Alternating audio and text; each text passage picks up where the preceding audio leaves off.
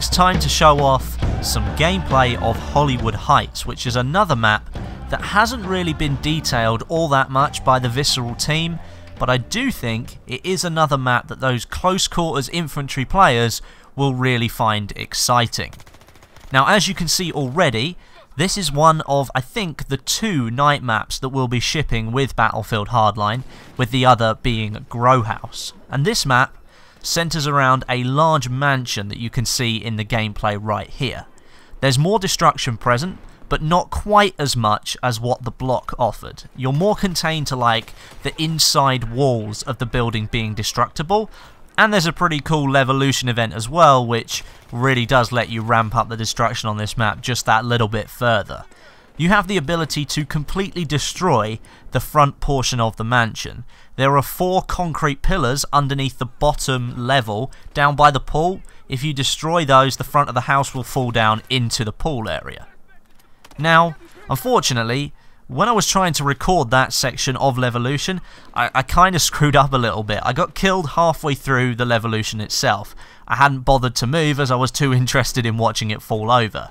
So I am working on trying to get that footage from you. There were plenty of people at the event that I have contact with who might be willing to give me their footage. So you may have to wait for tomorrow to see that event, but I can put it in a video with the Everglades Levolution, which I think is even more of a gameplay changer than what we have here on Hollywood Heights. Game modes that worked really well on Heights were Blood Money, Team Deathmatch, and Heist.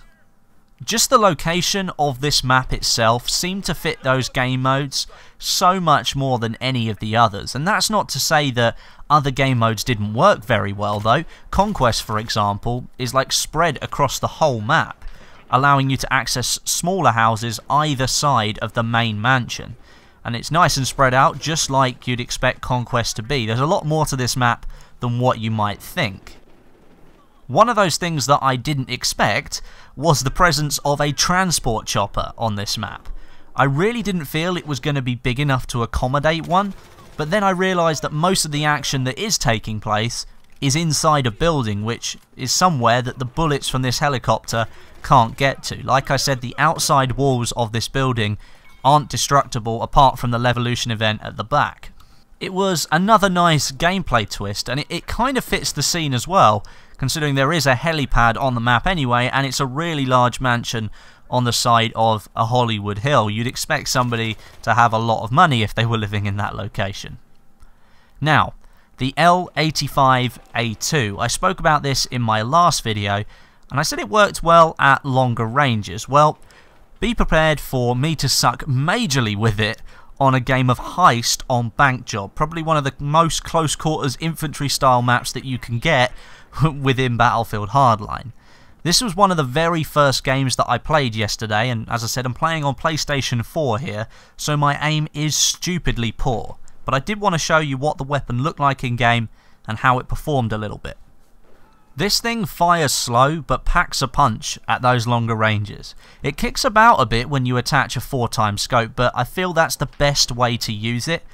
Although there aren't that many situations on these smaller maps that I'd feel like I'd want to equip myself with the L85, because it's just simply outgunned by everything that can fire faster than it.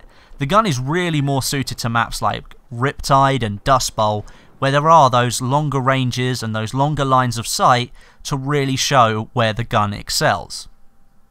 So there you have it, a good look at the new Hollywood Heights map that hasn't really been shown off before, and the pre-order weapon, the L85A2.